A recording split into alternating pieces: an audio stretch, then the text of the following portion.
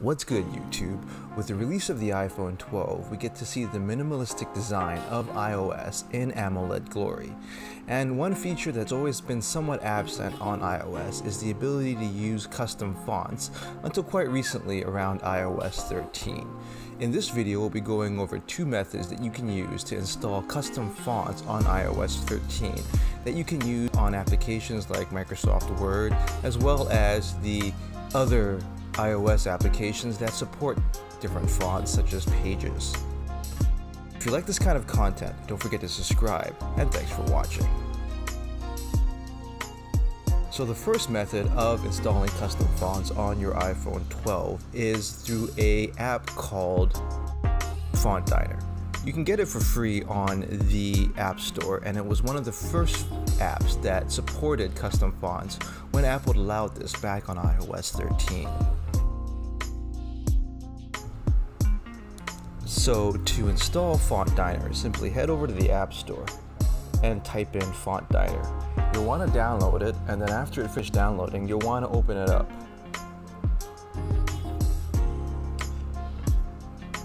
From here, you'll be asked uh, a few permissions for Font Diner. And then you can select the various fonts that you can get for Freeze app. I'm going to install the Silverware font set, which contains a series of 23 fonts. Hit the activate button, and you'll be prompted with a choice to agree to their terms of use. Hit agree, and then you'll be prompted again to install the fonts. After you hit install, um, you'll be notified if the fonts will be installed successfully. You can hit close in those notifications. Now, if you go into an app like Pages, you'll be able to see the font in the character menu of Pages. So I'll just select some text here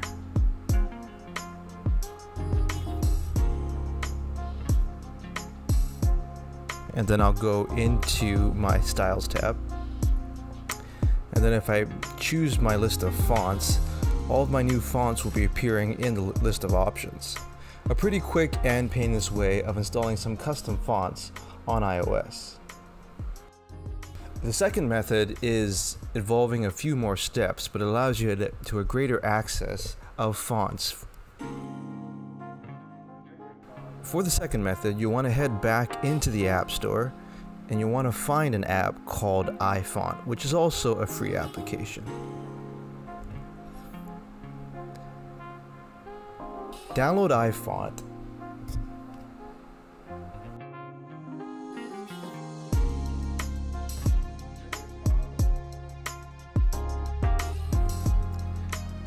And open it up to make sure that it loads properly.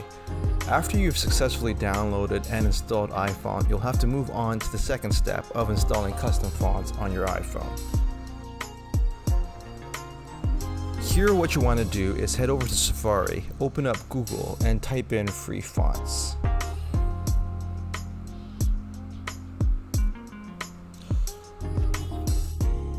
There's a variety of search results and websites where you can get free fonts, but normally the first search is the website DaFont.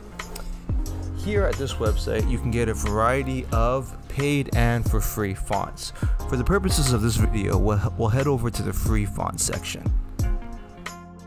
There's a 100% free font called Evander here that we'll download. So click on the download button and you'll be prompted to download the zip font. Download it and make sure that it downloads into your download folder on your iPhone. After you finish downloading your font, head back into iFont.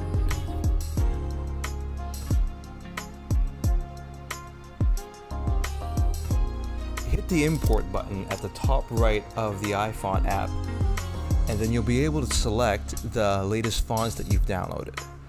We'll open up Evander here, which is a zip file, and it's going to extract the fonts. Here you want to import into iFont and make sure it's selected. And then iFont will begin to import the newly downloaded fonts. You'll get taken back to the main page of iFont and here you can select each of the different versions of your newly downloaded font for install. Here we'll install Evander Extra Bold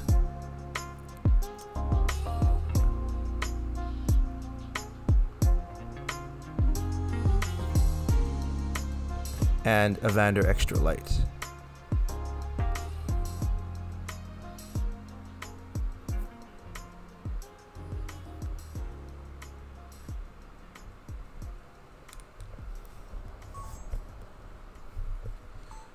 You'll want to, to let the fonts load into iOS and you'll know it's loading and working correctly if you see the loading readout on each of these fonts.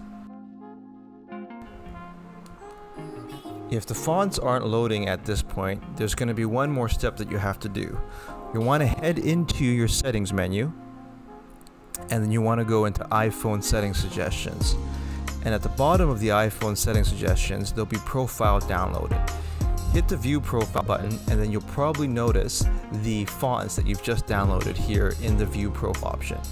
Hit install and this is the final step of the installation of the font where you'll be prompted for your password.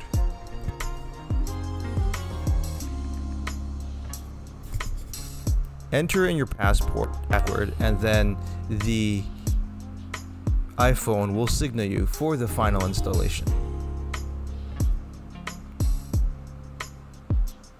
Hit done, and then you should have the font that you've just downloaded installed on your iPhone.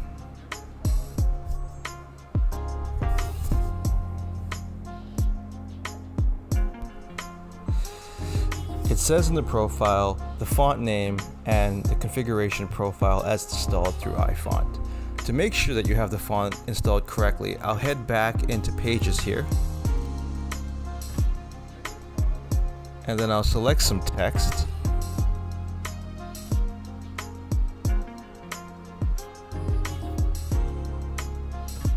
And then I'll go into my style menu and change the font.